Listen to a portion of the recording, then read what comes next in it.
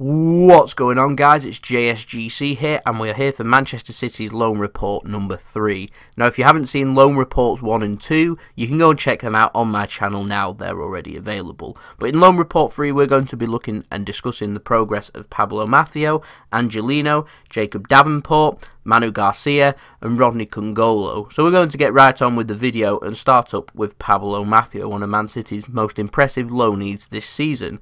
Right back, 20 years old, Spanish under 21 international, and he's quite small, 5 foot 8 for a right back. He's gone to Girona on a season long loan and he's managed to feature himself as a substitute appearance player, a player that comes from the bench, and also a player that starts regularly for Girona's right back position. He's made 17 appearances at the moment this season, scoring no goals goals. He has been very, very impressive, though, for Girona. He's had experience going up against Cristiano Ronaldo for Real Madrid. He's had experience going up toe for toe with Lionel Messi, too, of Barcelona. Also, players like Luis Suarez, Antoine Griezmann for Atletico Madrid. You see where I'm going with this? He's going up against world class footballers, and because he's going up against world class footballers week after week, he's going to get better week after week, which leads to a question what's the future hold for Pablo Maffeo? What's he going to feature? How is he going to be an important player for Manchester City? And it means that Man City would either have to do one or two things. They'd either have to You'd think sell Danilo, which probably isn't going to happen, considering we brought him in last season, or they could move Danilo over to left back, because I do know that Man City probably aren't going to sign a left back in the coming transfer window, so they could move Danilo over to compete with Mendy, who's injured obviously at the moment, and we don't know how he's going to progressively go on in the future. And then we're also holding up with players like Zinchenko and Fabian Delph. So if maybe if Zinchenko moves forward and actually Delph go back into the midfield, or maybe even leave, that would then hold a position for Maffeo to be promoted to Man City's rotated squad. Now, he's a player, in my opinion, that's getting better and better because he's playing week after week. So, in my opinion, a loan would probably suit him well. Would we do a sideways step and leave him at Girona for another season where he's doing what he's doing? Is he going to get any better doing that, or could we test him in England? I'd love to see a couple of our younger players go to big teams in England. You know, big, large championship teams, teams like Aston Villa, Leeds United, or even into the lower down bits of the Premier League, so teams like Newcastle United, for example, and teams like that. Could we not loan them there and see how they feature and do in England? Because if they do very well then, then you know that they are good enough for the Premier League and be able to then compete at least for a rotated option at Man City. So we'll have to keep an eye on Pablo Maffeo. But one of Man City's more impressive players this season. He's done very well, and I'm interested to see could we see Maffeo in pre-season? Could we see him at Man City next season? Is a possibility. Next up, we're going to look at Angelino. He's five foot seven, a left back like Maffeo, similar stature. He's a Spanish under 17 international. He's now 21 years old. However, he's been on a season-long loan at NAC Breda. He's made 22 appearances, scoring two goals. He's had a very good loan spell in the Netherlands this season. I don't really think that he's good enough for Man City. He's obviously a year older, a year more experienced than what Maffeo is, and I think that the future for Angelino would probably be away from Manchester City. Now, I'm thinking that we could loan him out next season, give him a proper test, see how good he is. Matt Maybell be sending him to Spain. We could see him head over to Girona. We could leave him at Breda. We could also send him elsewhere in Europe. We could see him in England too. What his level is, I'm really not sure though. So that'd be interesting if Man City decide to do that. And another option is possibly to sell him.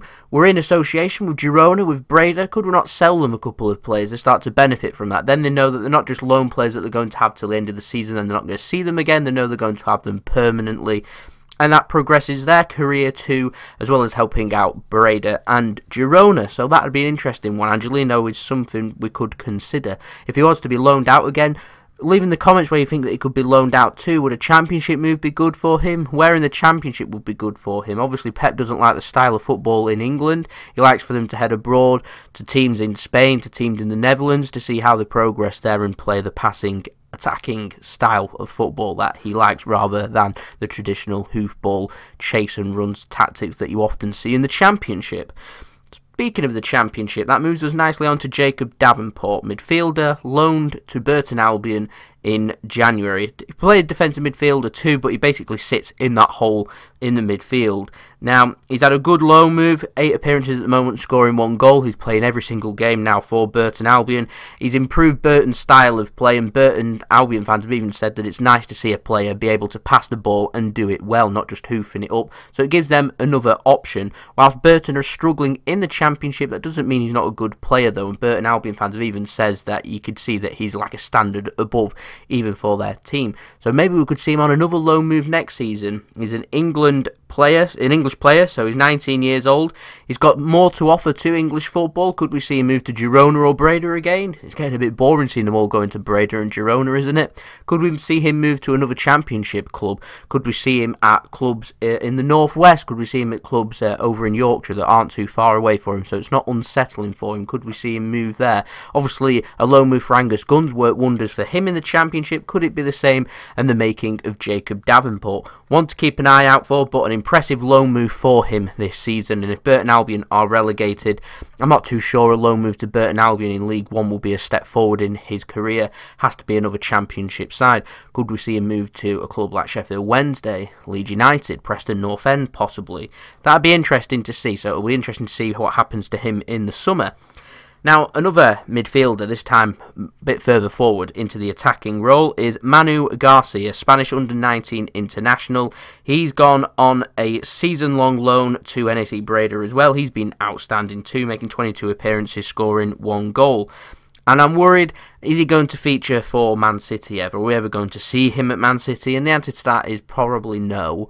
So, what what can we do with all these youngsters that we're producing? They're all quality players. They're just not at the standard to be competing with a team that's going to be challenging for the Premier League year after year and Champions League football year after year. Doesn't mean these players can't get to that standard eventually. It's just all about patience. Man City don't really have the time to be able to do this, so we could see them move elsewhere on loan or even permanently. And again, he's just like Angelino. Could we see him move permanently for the sake of his career and end up benefiting him? He's had a good loan period in Breda, just like Angelino. Will we see permanent moves for Angelino and Garcia to Breda permanently? That is certainly a possibility. We could see them loaned elsewhere. I'm not too sure Manu Garcia would really suit English style football, unlike the traditional midfielders like Davenport would really suit it. I think Maffeo would really suit English football with defending. Manu Garcia is a little bit more like a tricky player. He's like a more a skillful version of what Patrick Roberts can be, and I think that Manu Garcia would probably suit European football elsewhere. So maybe a loan move to somewhere in Spain, or maybe even a loan move to somewhere in France or Italy, somewhere like that, or a permanent move. A permanent move would be good, and just because they haven't made it at Man City doesn't mean that they've been a failure.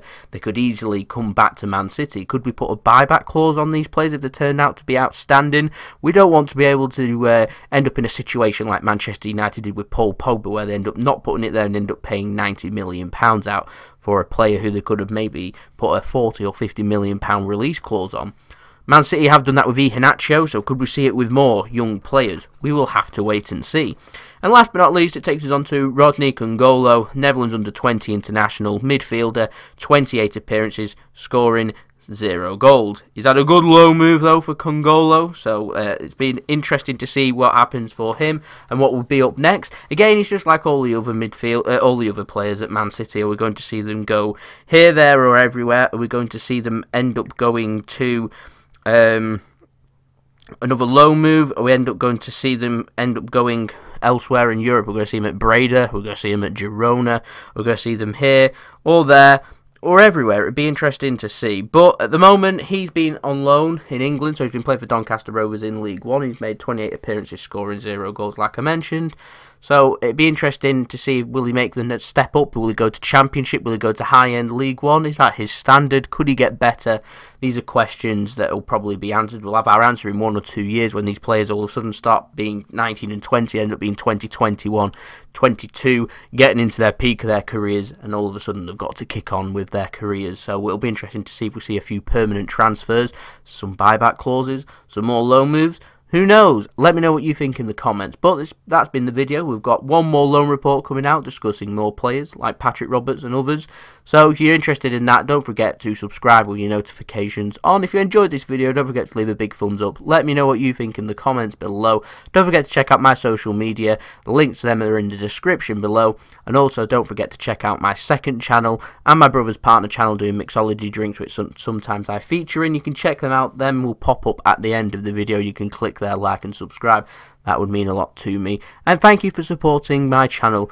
Uh, and I hope you all have a wonderful rest of your day. We're aiming for 400 subscribers. Hopefully we can hit that soon. And I'll see you all later. It's been JSGC. Hope you all have a wonderful rest of your day. Peace. Ciao for now.